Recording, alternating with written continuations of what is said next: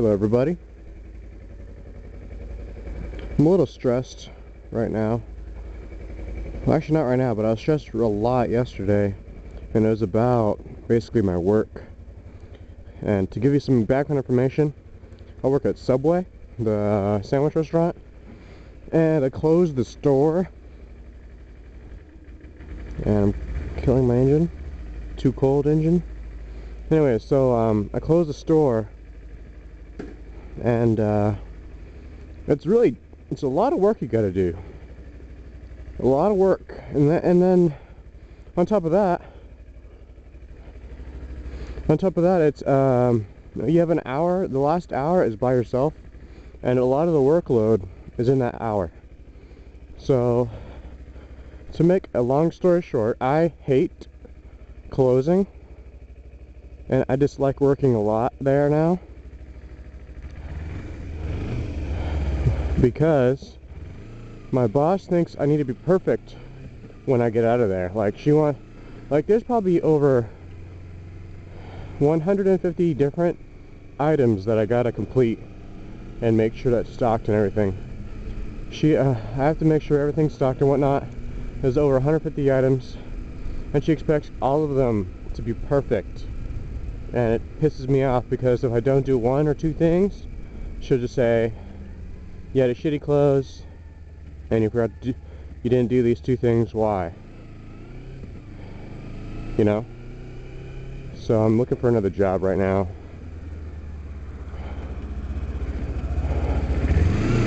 I mean Subway's a great place to work yeah but closing just sucks ass. For me.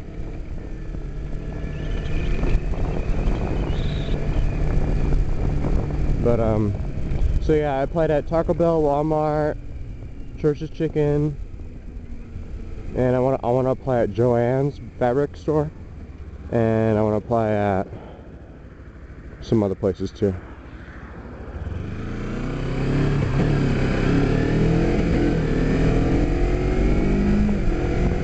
So yeah, I really dislike working. It's really stressful, and I want to know you guys' opinion on it.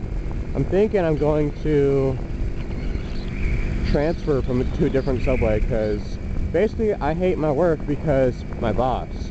I mean, I realize that a lot of bosses are going to be terrible.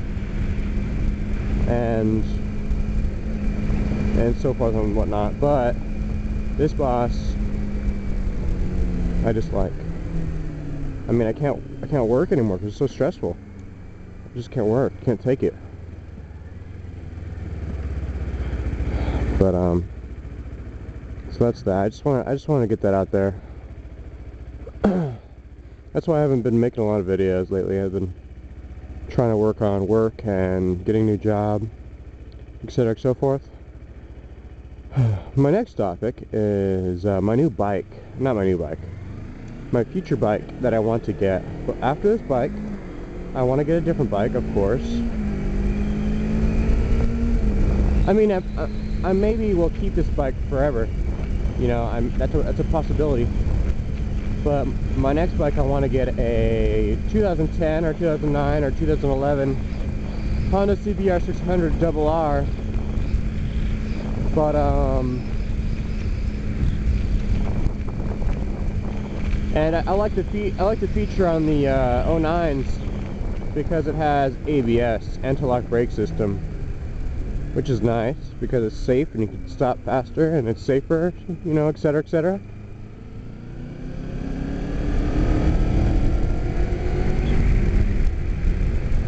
So that's the bike I want to get. I like I like that bike because I researched it a lot, you know, and I believe that uh, it has the best city usage for a 600 bike. I heard Kawasaki's bikes are more race oriented than than the Hondas. And I, and I believe that, oh my flicker's on, my bad. And I believe the Honda's uh, bikes have a higher build quality than Kawasaki. I mean, that's just my opinion off of research and et cetera, et cetera. And their bikes just look amazing. The Honda CBR 600 sounds and looks and judging my specs and everything is better, I think, than a ZX6R. They are exactly the same price, I think. I think they're exactly the same price. I mean, you're not going to get it from from the dealer exact same price, but but they are MSRP same price. And I'm on my way to school right now. About 40 high 40s today. Um, yeah, So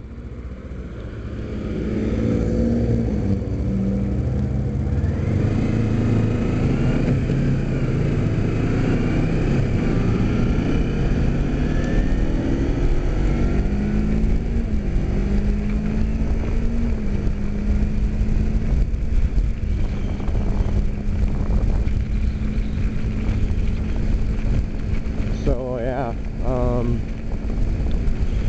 let's see. So yeah, that's the bike I want to get. What's the next item? Oh yeah, let me. I'll talk about the review of this bike that I'm riding right now. Uh, I'm really bad at reviewing items. Let's start out with that. But this bike is awesome. It's amazing. I have the best fuel mileage, fuel economy than uh, than all the bikes that I ride with, and my dad's bike. My dad's bike gets around 45 miles per gallon. I get about 65 to maybe. May, sometimes I push it to 70 if I'm if I baby it. And uh, the ergonomics on this bike is spot on. I, it's so comfortable riding this bike. I could probably do cross country if I got a touring windshield. I could probably do cross country. But um, yeah, so let's see. Also, the power is this thing tops out at 110. It'll be it'll take a little bit, but it will get there. And uh, sorry about the us.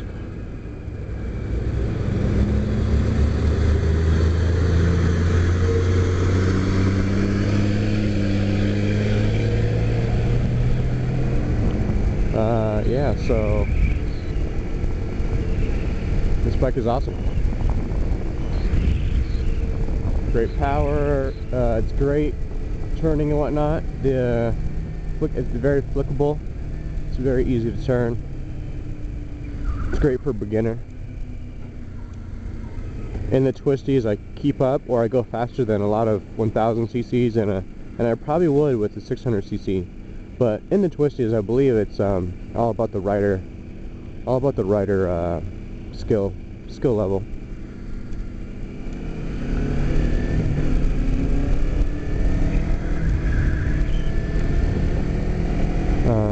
So, and then let's see what else. This bike has a high build quality. I've I haven't had any issues yet, and I plan to don't have no issues. I change the oil on this bike every 2,000 miles because uh, I'm bored and I just feel like changing it. Oh, whoops. I need to get 25. It was going like 40 or 50. Alright, um, yeah. So yeah, that's about it. Oh yeah, um, I'm wearing my I'm wearing my uh, mirror iridium mirror shield. I'll show you guys that after this turn here.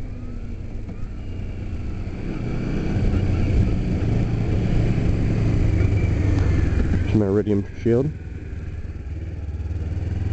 So no one could ever see my camera. no one will. People would just think I'm talking to myself if I park next to them. You know, if I idle next to them. No one could see my camera. This is awesome. No one could stare at me. I could be filming them and they would never know. It's an awesome thing.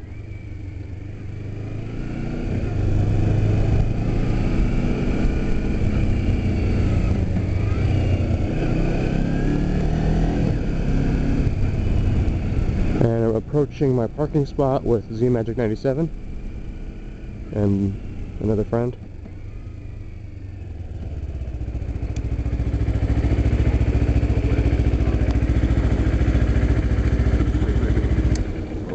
I can see myself. Can you?